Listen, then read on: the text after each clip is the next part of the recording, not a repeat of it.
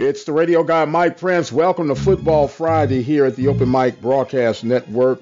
We're going to have some football, of course, but we're also going to hear from Coach Sandy Pugh on today.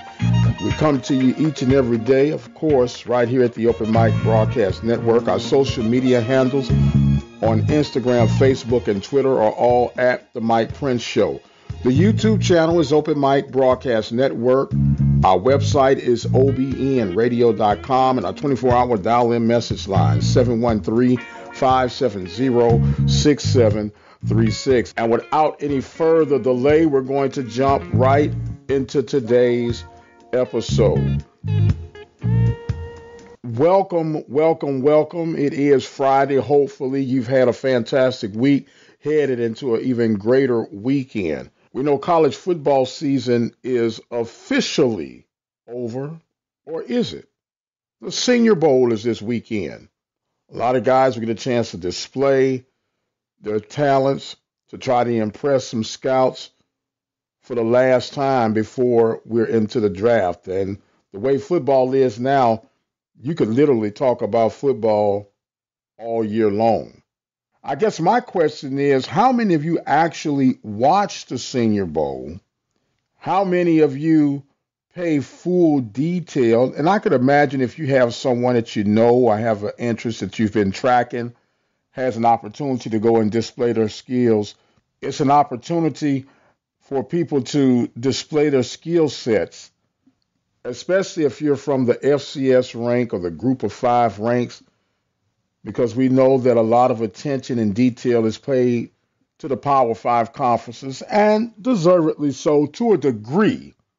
But it'd be interesting to see how many of you will actually partake and watch the Senior Bowl this weekend on the NFL Network. National Signing Day will be on February the 5th. The Panthers are planning an event in the Houston area. We're still waiting on the details and information about that.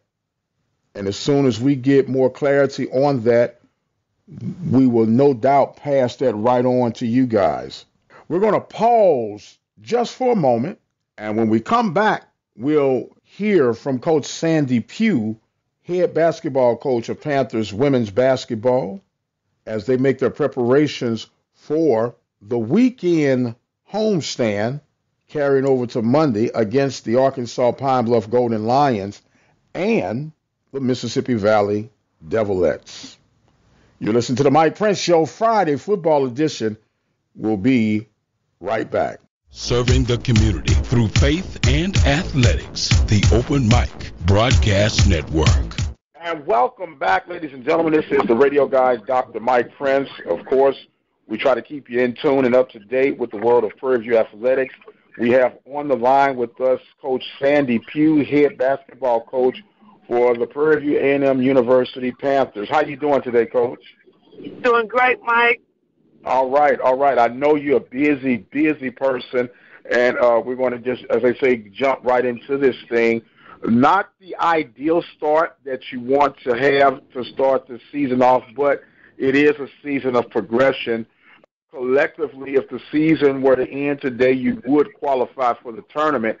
So get us up to speed on what things are looking like and shaping up in the world of PV basketball. Well, as you said before, was definitely was not the start we anticipated. You know, I said our first three games were riddled with turnover, miscues, and missed shots. We've been plagued all season with missed shots. However, during the preseason, we uh, had done a very good job of taking care of the basketball. Those first three games, when you're averaging 24, 25 plus turnovers, you're not going to be very good and you're not going to beat very many people. We also were not getting out in fast break and getting any easy, so everything was having to come out of the half court set. We were struggling there. So um, Alcorn came in here and jumped on top of us. Saying that in spite of all of our mis miscues and woes, I felt like we still should have won it. On the stretch, we just didn't do some things that you need to do to close out some games because we went into the fourth quarter up. the the other two games, I just felt like we were just completely out of sync. Since then, I've made some changes at the point guard position. Um, try to get a little more leadership at that role. Um, try to put people in the in the in the game who can do a a better job of containing the other team's players. You know, and I and I say that, and I also say this. You know, this conference has really gotten so much better in terms of basketball. There are no cupcakes in this conference anymore. Everybody in this conference had preseason Division One wins. You know that and that says a lot when you can go out on another team's court and defeat them. You know, we played Jackson State. I thought we played well enough to beat them. A little, got a little disoriented down the stretch. Had about five possessions that I really wish we could have gotten back, where we didn't score the basketball. And of course, they had a fan base there, and you know they got excited and hit a couple of shots. And they got to the free throw line. I thought that was a difference in that game. The Grambling game, we went in, did what we were supposed to do, uh, played a good Grambling team, held them, held them down. You know, we're one of the top teams in our league in defense. So I was really proud of that effort. But, you know, we've got to put together a string of uh, wins here. We have two games coming up Saturday and Monday at home. We got to have those, both of those, and uh, get back to the middle of the pack. We able to finish first in this conference this year? You know, who's to say? I know for sure we can definitely be in the top and host you know, that that first round game. That that's our challenge now. That that's our focus to get there. You know, this team reminds me a lot of Auburn from last year. You know, Bruce Pearl had this phenomenal group of guys, and they struggled. You know, the pieces weren't fitting. They were up and down all season. And then come tournament time, all of a sudden they just lit fire. You know, I'm hopeful that that's going to be a scenario for this team because I think we have all the pieces we need. We just have to continue to grind and working to, as a unit. You know, we we this this I said this before about this group of kids. I think they're too nice. You know, I think that's part of it. You know, I think once we get a little, we got a little dirt on us beginning of the conference. So, you know, we we're trying to turn this thing around and, and grind. I thought we played. You know, Jackson State is probably if not the best, then their second best team in the league. Texas Southern is right there, and so is Southern. So when you look at who we've played, you've played the top three teams in the league. So we know what what's out there and what to expect. And so my expectations now is for this team to go forward and to uh, do what we're capable of doing. You know, I'm seeing some good stuff in practice, and uh, I'm excited about what the potential outcome can be. We're talking right now with Coach Sandy Pugh of the Prairie View A&M University Panthers. They're making preparations, as they say, to rebound as they'll get ready to host Arkansas Pine Bluff this Saturday and then Mississippi Valley on Monday. Now, Coach, you look at the overall schematics, and if you know me by now, I focus on team effort as a whole. You know, uh, I don't try to single out individual players. But when you look at your team ranking, you're right up there when it comes defensively. Number three in conference. But as you mentioned, the struggle is on the offensive side of the ball. Uh, looking at your last outing, 33% from the floor is not where you would want to be. You were at a happy medium at 71% from the free throw line. In a perfect scenario, what would you call a solid night from the field? You know, anything above uh, 40% is, is traditionally considered a solid night. Um, you know, but you have to look at where the shots come from. You know, we're we're taking uh, a ton of um, as a result, we're not getting to the free throw line because we're not driving the basketball, or we're not getting the ball down to the bigs in you know enough reps so that they can you know be a factor and uh, get to the free throw line, and that comes back to spacing and passing. So uh, you know we're on uh, we're on our guards about where they're delivering the passes, angles, how to deliver the passes, and uh, on our bigs about finishing. So uh, when you start talking about a percentage, we've had some games where we shot the ball exceptionally well. 60, 50 percent, it still got beat. You know, so um, that's fleeting. It, it, it, it's that combination of uh, what else are you doing? You know, you might shoot the ball well tonight, but or, or you know, those instances where you turn the ball over in critical situations, or uh, you put them, park them on the free throw line. So, uh, you know, there's a lot of nuances that go into it.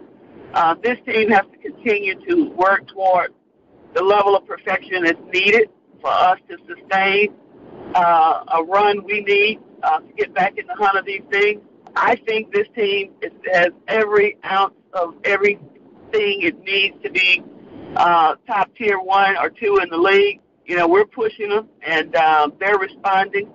You know, I, nobody gave us the Grambling win on the road. Nobody gave us to even be in the game at Grambling but us. You know, we the Grambling game. You got to figure we led most of that game, and I think the difference was when no neither team could score, they got to the free throw line. So just little nuances like that that you know we we look at and and we say to ourselves, we're to be okay. We just got to keep this thing um, uh, moving forward. Ma'am, yes, ma'am. We're talking with Coach Sandy Pugh the Prairie View Panthers. They're getting ready to rebound against the Golden Lions, and they'll take on Mississippi Valley on this next home stretch. Now, Coach, I know we're short for time, but I want to get your thoughts on the latest announcement from ESPN carrying all levels of the women's basketball uh, tournament starting this March? Well, you know, uh, they used to do that, and then they went away from it. They were doing the wraparound. I know that the WBCA and um, well, the organization were really fighting hard to get the the same amount of respect. You know, people believe in what they see.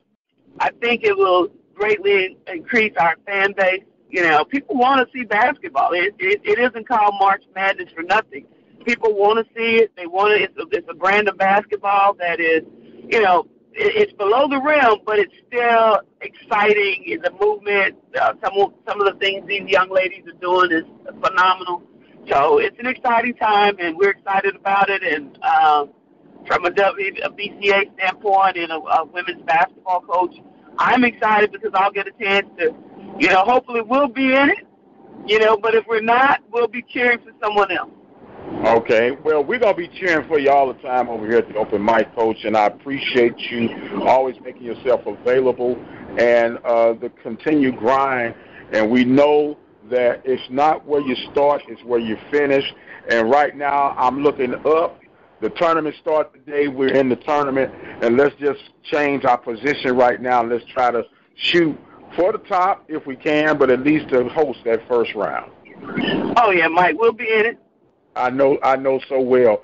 All right, thank you so much, Coach Sandy Pugh of the Prairie View A&M University Panthers, getting ready for the home stretch this weekend, starting with Pine Bluff. I am the radio guy, Mike Prince. We're to take a quick break, and we'll be right back with more of the Mike Prince Show.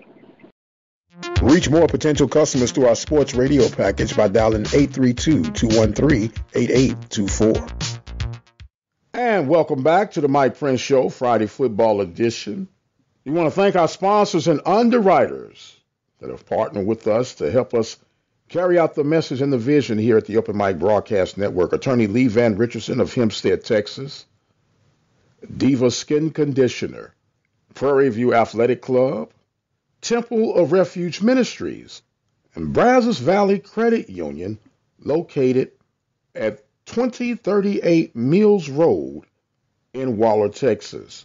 Brazos Valley has several locations to serve you, including Katy, Rosenberg, Brenham, Bryan, and College Station. You can dial a toll free number at 855 391 2149 for Brazos Valley Credit Union near you. Well, as we heard from Coach Sandy Pugh, the Panthers getting nestled in to try to start the upswing from the women's division of basketball, the men trying to stay on the course. We will stay the course as well. Remind you to listen to our programming over the weekend with the Carlos Brown Show beginning at 10 a.m. to 12 noon on Saturday. The Mike Prince Show live, 9 p.m. Central Standard Time on Sunday night.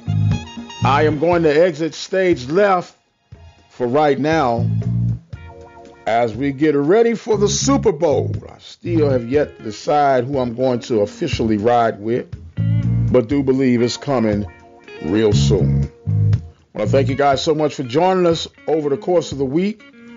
Continue to spread the love. Continue to subscribe to our YouTube channel at the Open Mic Broadcast Network. My time is up. I've got to go. But until the next time, you guys be blessed, and we'll see you on the other side.